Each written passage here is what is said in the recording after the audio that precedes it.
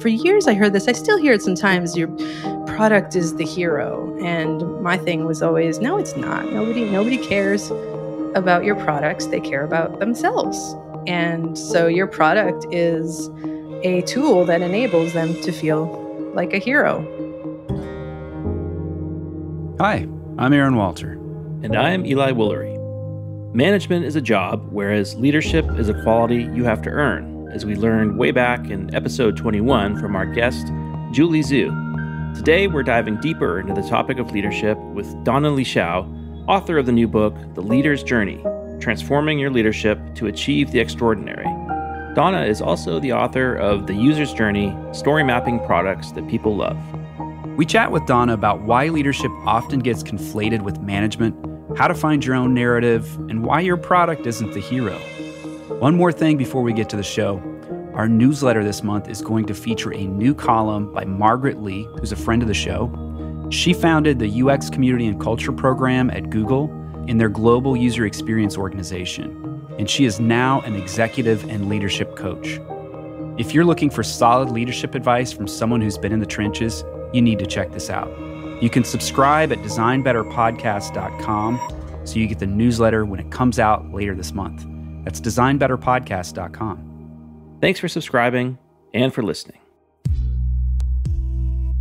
With Freehand by InVision, we've built a best in class visual collaboration platform used by thousands of enterprise customers, inclusively priced for the whole organization at 50% the cost of Miro and Mural and now with the Intelligent Canvas, allowing teams to maximize their impact by adding intelligence, automation, and connection to the canvas.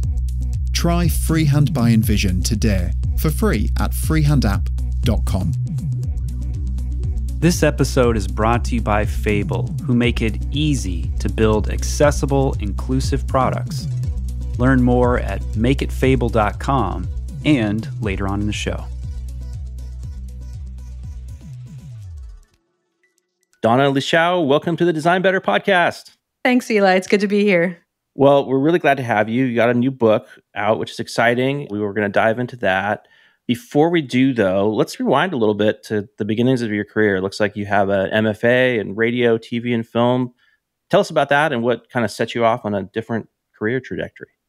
I do. I actually have two film degrees, undergraduate and graduate. And I think what you know, set me off in that direction was going to college when I was younger and meeting someone who ended up becoming a mentor years later, who was, I think, 10 years my senior. And I remember her saying, you know, have fun in college, study whatever you want, don't expect to get a job in it after you're done and enjoy it, just expand your brain. And after she said that, I thought, you know, originally I was going to study math and psychology, and I figured maybe I'll become a therapist or I don't know, a math person, whatever you do with math. But yeah, I, I fell in love with film and ended up doing that instead. But I always worked at the time, this was in the 90s, as a web designer on the side. That was my side hustle in my college part time job, building websites. And so I always figured I would work in tech, but film was really fun to study. And then I did it again for some reason years later. Nice. So you spent some time in tech and you wrote another earlier book, uh, The User's Journey Story Mapping Products People Love. What brought about that book? You know, it's funny. I, at that point, had been working in tech for maybe 15 years, eventually on the product side of things, building software, apps, web apps. And what I found is that when I was working with teams and companies, especially startups who were still figuring out their product market fit, I would come in, things would be completely ill defined, confusing. And as the head of product, that would be exciting because I get to, you know, fix things and make them better. But I found myself often saying, what's the story here? And stories also, you know, were something that a lot of tech people were obsessed with this was i guess 10 15 years ago you know we have and still are obsessed with we had agile user stories and journey maps and all these other things that you know storyboards and for me as a filmmaker, uh, you know, my question was okay, yes, that's great, but what is the story? Story to me had architecture, had plot points, had characters, heroes, antagonists, and all these other things. And so I started working in product as I did work years ago as a filmmaker and just started thinking about it all deliberately. And after a few years of that, the teams I worked with loved it so much and companies I collaborated with loved it so much that I ended up turning it into the focus of my entire business and eventually consultancy, which was helping and is what the user's journey in my book was about as well, helping businesses see the story that their users and customers could have when they think about and use their products and how to build the most engaging products out there that don't convert people it transforms them into heroes. So yeah that's the closest i've come to working professionally in the film industry i would say. Actually i've worked in the film industry but yeah that's it sort of was a chance to marry my film background and product background it's fascinating how our career, you know, kind of goes in unexpected directions. You, you studied radio, TV, and film, so very media focused, but it all resolves back to storytelling one way or another there. And then that becomes very applicable in the work that you have done over your career. How do you go about discovering, like what you're saying about turning your customer into the hero? How do you go through the discovery process to find that story and extract that out so everyone can understand it?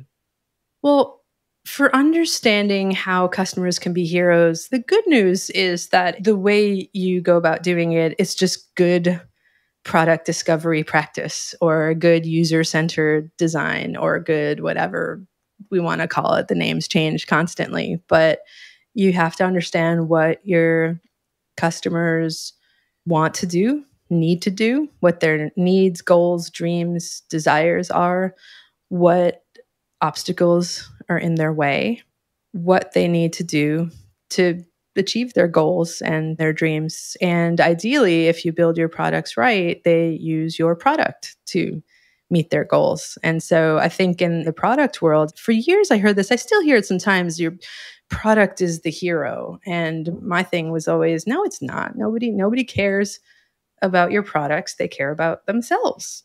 And so your product is a tool that enables them to feel like a hero. When you get that right, you not only hear it from your customers, you could do it during discovery ahead of time. You can do it during the product development process as you're ideating and coming up with flows and features and how things can work. And you hear it from your customers when you start testing things in the wild with them. They'll often echo the narrative arcs and the stories that you build into your products for you. You see it everywhere. You have to just always be listening to your customers and you'll see it and hear it. I'd like to go deeper on this a little bit. So, the idea of a hero is sort of an elevated concept. It's not just these are the tasks. It's just you know task flow that a person goes through, but it's that they go through this task flow because they have some specific objective, like a noble objective that they want to complete. How do you identify that noble objective in the research process? And then identify, like, okay, this is the moment in the product where we really can make this thing shine and make that person successful. So, there are a bunch of ways to do this, but usually, most companies I've worked with at the point that they're launching products or features, they have an inkling of an idea of something. So I'll use the iPhone as an example just because it's ubiquitous and everyone can reference it in their minds. So if you think about the original iPhone, it didn't start with any big lofty story of any kind. It was Steve Jobs hearing about tablets, wondering about capacitive screen technology, and asking Apple's engineers to play with it and see what they could come up with. And the only story at the time was Steve wants a way to check email on the toilet. Here you go.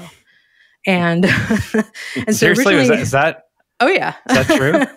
yeah, uh, very true, very true. So you know they played around. It was supposed to be a tablet, and eventually the iPhone became a thing with the technology that they were playing with. So that they tinkered, and that's okay.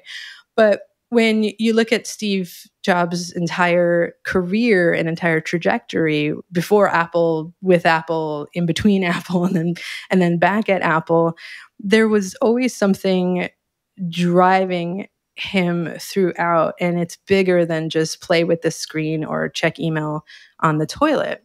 And he was savvy enough to see once they did prototype the iPhone as a proof of concept, something that could change the world. What he saw is this wasn't just a way to check email on the toilet, it wasn't a phone that plays music, which is what it very well could have been. And other companies were producing smartphones that played music. But what he saw this as is a way to communicate with the world around you, a way to change the way we communicate, and it would work like magic.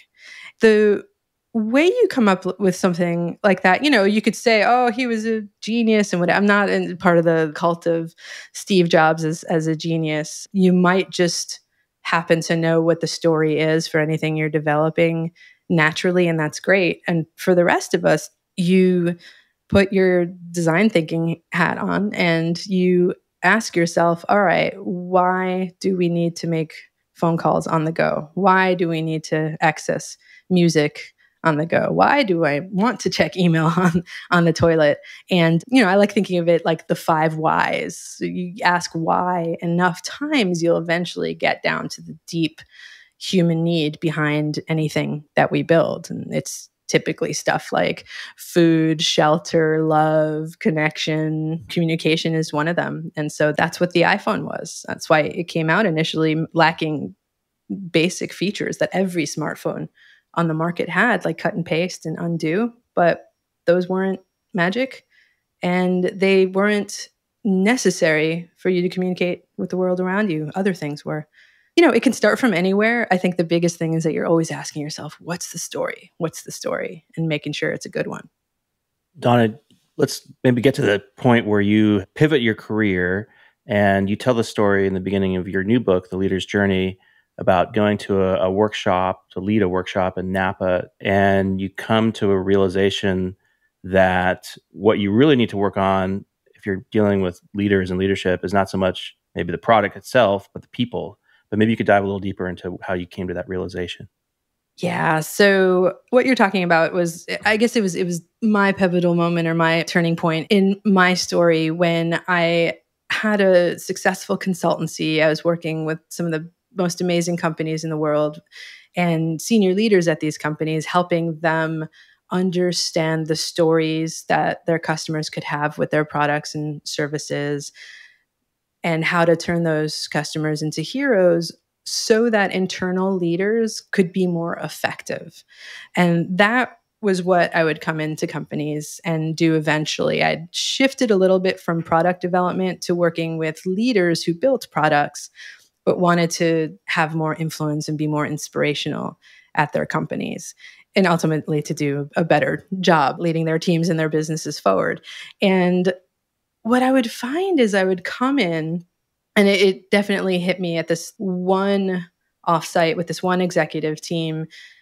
I'd come in we would talk about what you think of as traditional storytelling like all right uh, what i just told you about the iphone you know let's say you're working at a company and you're developing a product. How do you think of it in that way that steve jobs might have done naturally or he might have done it deliberately? I'm not you know can't really say but how do you think like that? And then how do you act like that around your company with the story, not acting like Steve Jobs in the other ways that he acted, unfortunately. But how do you get people excited about what you're building. And it was this one team I was working with in Napa that straight up just pulled me aside over lunch one day and said, you know what? This is not our problem. I don't think we need storytelling. you know, I don't see how this is going to help me. And I appreciate that they did this. They were very blunt. I love, I still work with this company. A lot, a lot of folks there are very, very blunt, and I love it. You know, one of the executives just straight up and said, I don't, our customers are fine. They're not going anywhere, but I don't feel like a hero. How do I feel like a hero? Because if I can't feel like a hero doing my job, I can't do this job right now. And what he, um, you know, eventually told me was that people were fighting and the head of engineering and the head of product they didn't get along and team morale was low and you know they were never sure what they were working on half the time. And it was just like it was things that to me didn't feel like product problems. They felt more like people problems on the one hand. On the other hand it was abundantly clear that skills would not fix this and a lot of times in leadership development, you focus on skills. So, okay, these executives, they lack skills. Let's teach them skills. They'll be better leaders. But there were no straight up skills that were going to help these folks. Uh, it was something else. And this one executive and the others who came up to me that day, but especially this one, just got me thinking at the time like, how do you be a hero? And and do you need to feel like a hero as a leader in the first place? Because my initial reaction to him was honestly was this is not about you get over it. You need to turn everyone else into heroes. You know the world doesn't center around you. How about your team? How about your customers? How about your goals? Like just get over it. Turn everyone else into heroes around your organization. You'll be happy. And i left that day and just thinking oh my god that's not right. Like i think he does have to feel good to lead his organization forward. Otherwise, the whole thing breaks. That was my my moment where I basically have spent the last seven years figuring this out. Well, not figuring. I spent a couple years figuring it out. Now, um, over seven years, really focusing on this. And the answer is: you can be a hero if you want to be a great leader, and you have to feel like a hero. Otherwise, it does break. And luckily, the answer is still a story, but it's not about the stories you tell. No one cares about the stories you tell. So if it's not skills that help leaders figure stuff out, I, I agree with you because all of this stuff does boil down to people issues. Like got a whole bunch of people working on a product. The more people you have, more people, more problems. You know, it's like it just gets more complicated, right? What is it? Like a value system that makes a leader a hero that they can operate and feel good about what they're doing? What is it if it's not skills? That's a part of it. And you know skills matter but to use you know product terminology i'm still a product person at heart so skills matter but they're not the must have in this system. They're a nice to have and they make things better. But here's how value systems are a part of it and the way the way that i think about it and that my clients think about it is this. It's inspired by that one executive's question but it's also i've spent years researching neuroscience psychology and a whole host of other things as well. Somatic therapy which involves the body. And what it comes down to is if you want to lead yourself and others forward you don't have to just feel like a hero. You need to feel and act and think like a superhero. And it's a metaphor on the one hand which I'll, I'll talk in a second about what superheroes have because part of that is a value system it's a metaphor on the one hand, but there's so much psychology and neuroscience behind it. Because if you really unpack any superhero tale ever, it ultimately they're all about being human and they're all about finding your place in the world and making an impact in the world. So, superhero stories are an amazing metaphor for what it means to be human and make an impact. And if you think about leadership as a superhero or a superhero story, which the two are intertwined. You can't really separate a superhero from their story. What you need to be successful is one, an identity. So that's clear understanding of who you are. And you need to understand your superpowers. So those are the things that you excel at. It could be some skills, it could be other things as well, quirks. It could be ways that you show up. It could be your values, things that are important to you, superpowers, or anything that power you and that make an impact in the world. And you need to be clear on your mission. And that's simply where you're going and the impact that you want to achieve in the world. And when you smash that all together, you're not just clear on who you are, where you're going, how, why, how not and with whom, because you also need super friends added to that as well. But you can figure out ultimately how you can have the most impact how you can connect with everyone you work with, how you can create super teams and ultimately create businesses that do what they're supposed to do, which is turn their customers into heroes. But when you think about leadership, it really does start with you. You have to figure out who you are, where you're going, with whom, why, how, how not, in no particular order once you figure that out, you go make things happen and you turn everyone you work with into superheroes, and it's magic. We'll return to the conversation after this quick break. Methodical crafts coffee and tea for people of all kinds. They've been around and roasting for more than eight years, and they are certified coffee nerds. On their site, you'll find useful brewing guides that'll teach you how to turn your coffee brewing chore into a beloved ritual and really dial in that perfect cup. I'm a longtime subscriber to the Roaster's Choice subscription and start every day with a cup of methodical coffee. I have to say, without fail, every morning when I wake up, I am excited to drink their coffee because it is fantastic. Methodical's packaging, their website, the entire experience. It's just beautifully designed. Craft a cup that you'll love with Methodical Coffee by visiting methodicalcoffee.com and use our discount code DesignBetter to get 10% off your first order of coffee or tea. That's methodicalcoffee.com. I've got two young kids who can be a little bit on the noisy side, so my wife and I have gotten used to using closed captions on those rare occasions when we get a chance to sit down and watch a show together. Lots of us have experienced the benefits of products that were initially designed for people with disabilities, from closed captions to dark mode on your phone or laptop, to voice to text, to electric toothbrushes. Designing products for all people, regardless of abilities, leads to greater adaptability, usability, customization, and personalization. With 1 billion people worldwide living with disabilities, Fable Engage helps UX teams collect feedback from people with disabilities to help you build more accessible products. Fable Upskill provides custom accessibility training for digital teams to gain skills to build inclusive products. The best digital teams like Shopify, Microsoft, and Spotify partner with Fable to make better products for everyone. We're big fans of Fable, and we know you will be too. Learn more by requesting a demo at www www.makeitfable.com slash design better. That's www.makeitfable.com slash design better. People like us who work in tech, we have to learn new things all the time, and we have to do it quickly.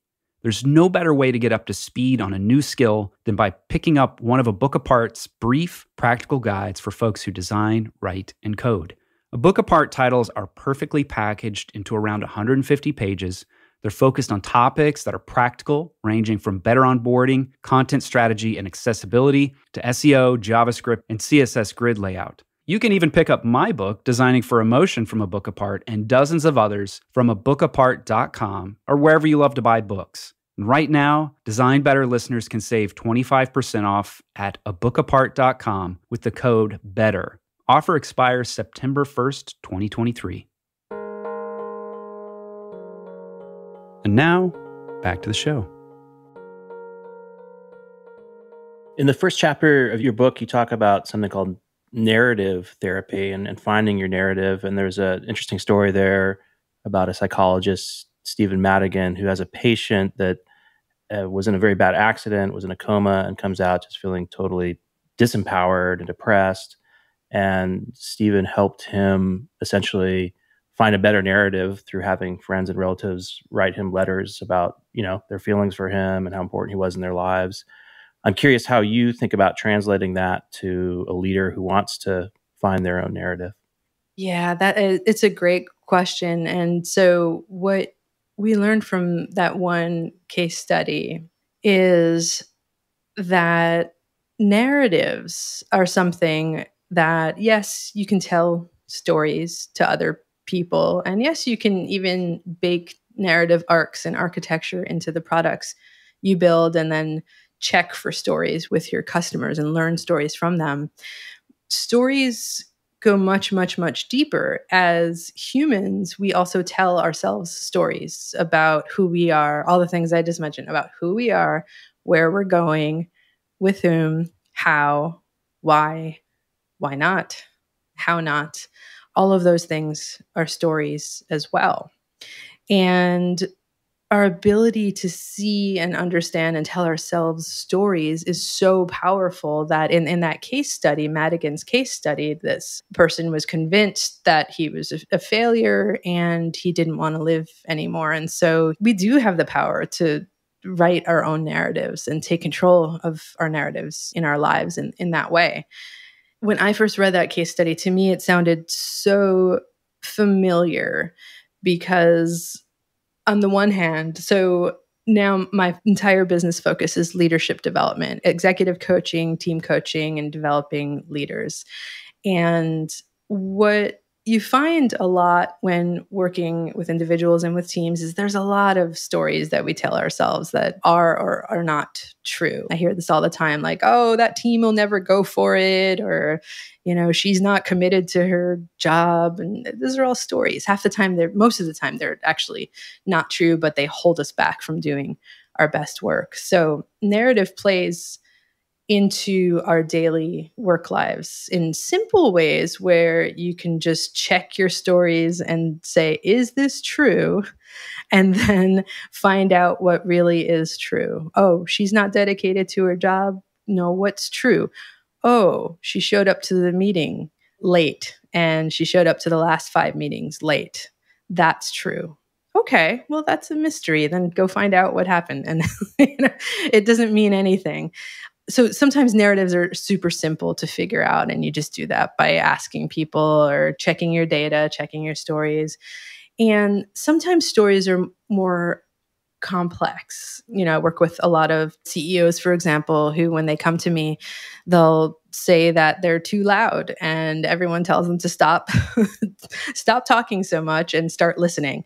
And they're struggling to do that. I've worked with CEOs and senior leaders who have the exact opposite problem. I'm too quiet, and everyone says I'm not talking enough, and it's offending people and it's holding them back that way. What do I do? There are simple ways to deconstruct your narratives and find the true stories. And there are other ways that for me as a product person and as someone with a long tenure in the tech industry are also second nature, which is we use the term get out of the building. So this is like get out of your head or get out of your team's head, get out of the building. Sometimes to find what the real story is about who you are as a leader and the impact you are making and can make is just ask people. You know, I imagine most people listening to this know how to do it. You talk to five to eight customers or you have someone do it on your behalf. I do this for my clients and with my clients all the time. Get out, talk to five to eight from a certain segment, find out from their words. Like, what are their dreams? What are their goals? How do they engage with you? How do they see value in working with you? What's amazing about the work you do together? What could be even better? And when you go out, talk to people, then you come back, put together the themes. You can use post-its if you want. you can use spreadsheets. You can do whatever. You find out, oh, this is who I am. Or if it's a team, ah, oh, this is this is who we are. This is the value people get in working with us. And these are the gaps and opportunities we have to propel our business forward even further. That's kind of a, a long answer, but you know, I always think about the design and product development process in terms of how we lead ourselves through the business world. It's the same thing. You can do short little prototypes and tests. You can do big D discovery and get out of the building, and you can iterate and mix and match. The key is that you use real data and you're not just making stuff up all the time. Donna, what do we do when our personal narrative with respect to our career and our capabilities is going in a direction that doesn't feel good. You know, we've had setbacks or failures. You know, a lot of people these days have been let go from their job and there's an unexpected twist in in the personal narrative that starts to reshape our identity of like I'm someone who's not worth keeping around, or I'm someone who's not a valuable part of the team. Extrapolate that out to any other circumstance. How do we reshape that narrative to go in a positive direction? I think it's the same thing. But first, what I will say is that the most successful people I've worked with, believe it or not, would tell you similar stories. Like I've worked with, I'll give you an example, CEO of a billion dollar company who told me something similar when, you know, we started working together. Oh, I should not be the CEO of my company. I'm not qualified to do this job. They gave me hundreds of millions of dollars by accident. it's um it, it's quite amazing what we tell ourselves. Oh, that new fancy pants Silicon Valley executive I hired, she hates me. I know it. None of this was true. I've worked with, you know, middle managers at large tech companies. Same stories. I've worked with founders of tiny five person companies, same stories. All of us have the ability to make meaning out of what happens in our life.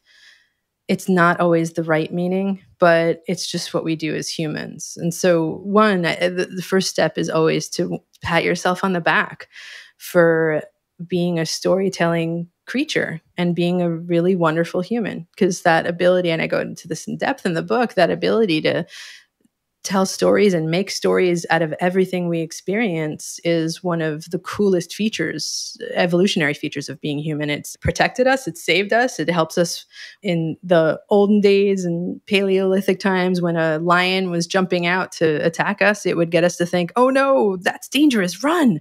Like it's a good thing but they also have the, ability to paralyze us and, and, hold us back just when we need to be doing the opposite. And so I don't want to say reframe that story because when I think about that, I think of I don't know if you remember Saturday Night Live in the 90s, Stuart Smalley, and he'd be like, I'm good enough, I'm smart enough, and gosh darn it, people like me. Like that doesn't work either. You're just gonna fight yourself and you'll you'll lose. That's just silliness. So first thing is really just you know, understand that you're doing what you need to do by feeling crappy, and that's okay. When you've recovered a little bit, the best thing I would say is to fill in the pieces. So start collecting new data, new data points, and new stories that will either substantiate that narrative you're telling yourself, like you're worthless. Well, maybe you are. I don't think you are, but it's good to know. So you find data points and narratives by talking to people. And another way I talk about this a lot in the book, you can also go through your past and think about all the things that you have loved doing in your life and all the times that you have made an impact. So those are data points too.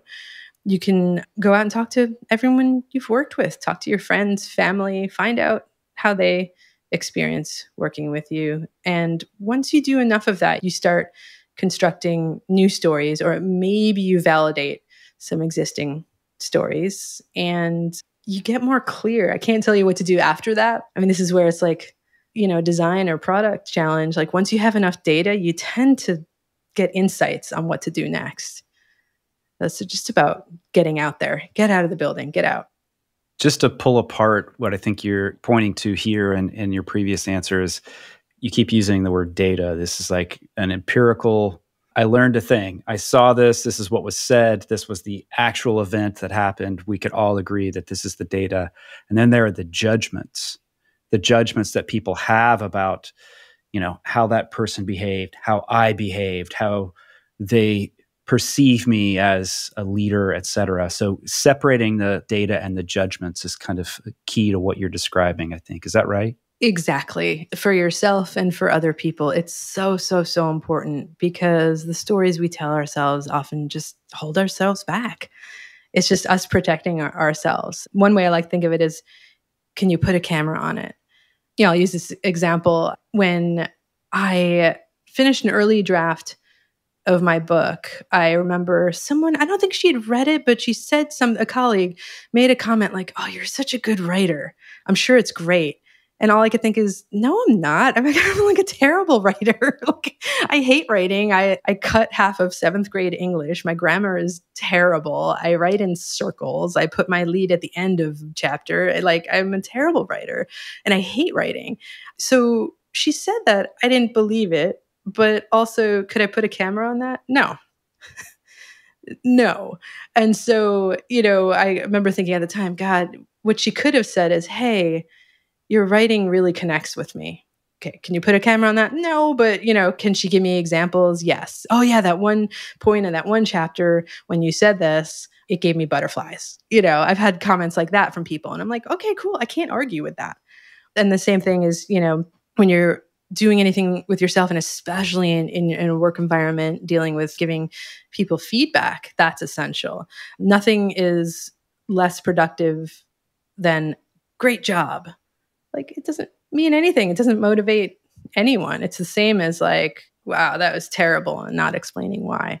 So data is either can you put a camera on it or can you measure it? Like I consider physical reaction something you can measure. It gave me butterflies. I've heard clients say that. I'm like, cool. like, you know, I couldn't put a camera on it, but I saw you just had butterflies just now and got all fluttery. That's great. So yeah, can you measure it? That's data. It's like it's truth. It's real things. Want to shift a minute to uh, conflict and dealing with conflict. And you have a whole chapter in your book about this. And you talk about uh, this Google project, Project Aristotle, which we may have talked about in the show before, but if you haven't heard of it, Google, in very quantitative, googly fashion, did this massive study. They're trying to figure out what makes a high performing teams. And somewhat to their surprise, they discovered that it was really down to psychological safety and feeling trusted that made the highest performing teams. And I'm curious because I think that's often misunderstood or misrepresented. And I feel that I spent a fair bit of time in academia. I think you have too, Donna. And there's this idea that, that I think originated in academia, which had, I think, very good intent. And it's this idea that we needed to create these safe spaces. And I think the unfortunate consequences of that is that it's turned into something where certain topics you can't talk about. Whereas I think if you're in a learning environment or if you're in a team, where you've built that kind of trust, you should be able to talk about different positions, even take on a position that you completely disagree with and steel man it, and then have a discussion so that you're learning from somebody else who maybe believes something different than, than you, and and then you're teaching people as well. So I'm curious within that, how do you think about building psychological safety as a leader within a team? I do think the term psychological safety has been misinterpreted by a lot of people as to coddle folks and to sort of buffer them from stuff. And and then as a result people don't always take it seriously. The model of psychological safety that i subscribe to but that also has the biggest impact with my clients and their teams is the neuroscience model. So academic as well but differently academic. The neuroscience model, the well known version of this is the acronym SCARF. And the idea is that when certain, I constantly use the word trigger. I'm trying to I'm trying to be more tame with my my language for other reasons, but I'm just going to say it because it's a psychological term. When you are triggered in one of these areas, your brain cannot tell the difference between, oh, I'm in a boardroom versus, oh, I'm in the jungle and a lion is about to attack me. Or I guess, I don't know if lions are in the jungle, but I'm in the savannah and, and, a lion is about to attack me. Your brain jumps into overdrive and you do stupid things because when you don't feel safe, you might be able to run really fast or conserve the food you ate for, for dinner the night before, but you're not able to think clearly in any other way and you can't see big picture your your eyesight literally narrows when this happens the idea is that if you want yourself and people who you work with to perform at their best, not only to be aware of these triggers that set people into terrible work performance mode, but to optimize for these because when those basic human needs are met, people are thriving and things are amazing. And so the SCARF acronym, what it stands for, the, the triggers here are, are status, certainty, autonomy, relatedness, and fairness. And what you'll find is that when you have problems at work, either you're struggling with something and you're not at your best, or more likely, people who work with you, whether you manage them or you collaborate and partner with them differently, when they're not at their best and when conflict is high and people are fighting and arguing and just things are really not good, the likely culprit is that one of those levers has been pressed.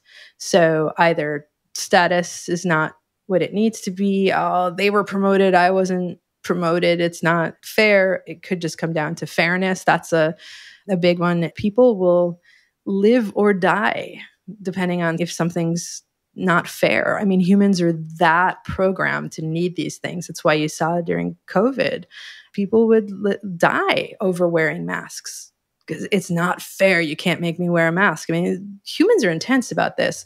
It could be certainty. I work with a lot of folks who love uncertainty. That's why they founded a company. That's why they do the wacky things they do. And yet, people who work for them cannot function with uncertainty and they need more certainty and they all need to learn how one another works. And so we all have different needs. Like for me, a big one is autonomy, but certainty I need a lot less of, and that's okay. You can look at these anytime anything is going wrong in your interpersonal relationships at work, or even expand it farther like, hey, we're not doing well. We're not meeting our goals this quarter. What happened? And probably there are interpersonal conflicts that are at the core of what's happening. And reverse engineer it and figure out all right, these are basic human needs. Every and I'll bring the superhero metaphor back. Every superhuman needs them. And how do we make sure that we're all doing what we need to do and thriving so our brains are functioning at their best? So that's how I see psychological safety. It's core to great superhero stories, it's core to effective leadership, and it's just what our brains need in order to not just function, but thrive. For those who have been maybe acting as a leader, even though they're still in an individual contributor role in their their organization. How do you know when it's time like when you're ready to make a change to become a leader? And what skills might we need to develop? Yeah i, I see this a lot. First i'm going to start with what not to do which is if you love being an individual contributor and you feel like in order to be a real leader i have to go become a manager because it's what i'm supposed to do run. Don't do it you're going to hate it or try to find some little experiment to test it out. I see a lot of folks who go into management and executive leadership positions because they think they're supposed to do it, not because they want to do it. So that's one thing. And always check your shoulds. The flip side of that is well, if you're on an individual contributor path and you love working with people. You love collaborating, you love nurturing, you love coaching your team members, you love empowering everyone you work with to do amazing work. You love providing a vision and then giving an open canvas and letting people play with it and figure out how to get there and then supporting them to go achieve the impossible. If those are things that really excite you, I would say if you're thinking management track, that's how you can really, really work on your leadership chops and work your way up your company, start your own company, and you can have such a huge impact that way. And so I think it, it's important. A lot of, I mean, we all do this. A lot of people conflate management and leadership. You don't have to move into management to be a great leader, but if you want to be a great leader and you want to move into management, it will be amazing. If you love being an individual contributor and you still want to lead some way, you're you're better off finding other ways if you don't want to be a people manager. It's a trap and it's you're not going to like it. I think, you know, as with everything, you always want to really think about, all right, what do I love doing? When am I at my best? When have I been most effective? And how do I do more of that? Donna, as we get close to wrapping up here, first I wanted to mention one book. You said you, we were talking about kind of coddling and what's happening in, in, university systems, and this really good book called the Coddling of the American Mind by Greg Lukianoff and Jonathan Haidt that talks all about this. It's, it's an interesting read for people who are concerned about that. And, and Jonathan also talks a lot about the deleterious effects of social media on young people, too. But in that vein, as we wrap up here, are there any books or television shows or podcasts, don't even have to be work related, that are really inspiring you right now? Oh, that's a God, all these great, great questions. So it's been a fun week for TV. I just finished Succession mm-hmm. and uh, Ted Lasso last night. And so I would say if you're interested in leadership of any form, watch Succession for what not to do. watch the first the definitely the first season of Ted Lasso, especially if you're interested in team dynamics and building effective teams. The other two seasons I didn't find as applicable to the team dynamics and effective leadership in the workplace, but definitely the first season. Yeah, so those are that's on my mind this week let's finish off by telling us where folks can find more about your books. You can always buy them wherever you buy your favorite books, especially The Leader's Journey. It's available anywhere. So if you want it at your favorite bookstore, just let them know and they'll get it in.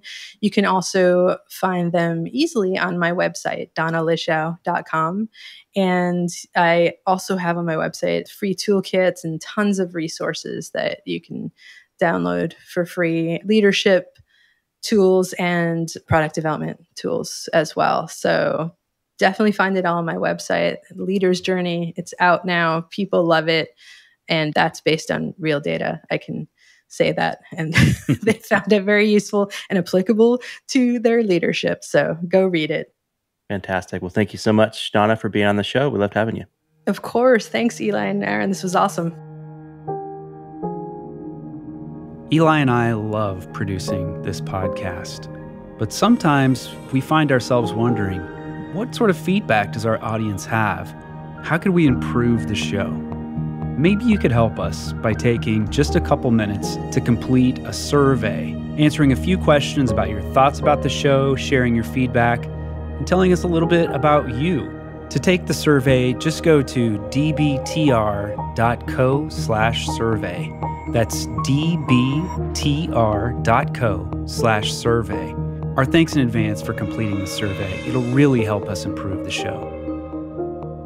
This episode was produced by Eli Woolery and me, Aaron Walter, with engineering and production support from Brian Paik of Pacific Audio. If you found this episode useful, we hope that you'll leave us a review on Apple Podcasts, Spotify, or wherever you listen to finer shows or simply drop a link to the show in your team's Slack channel, designbetter.com slash podcast.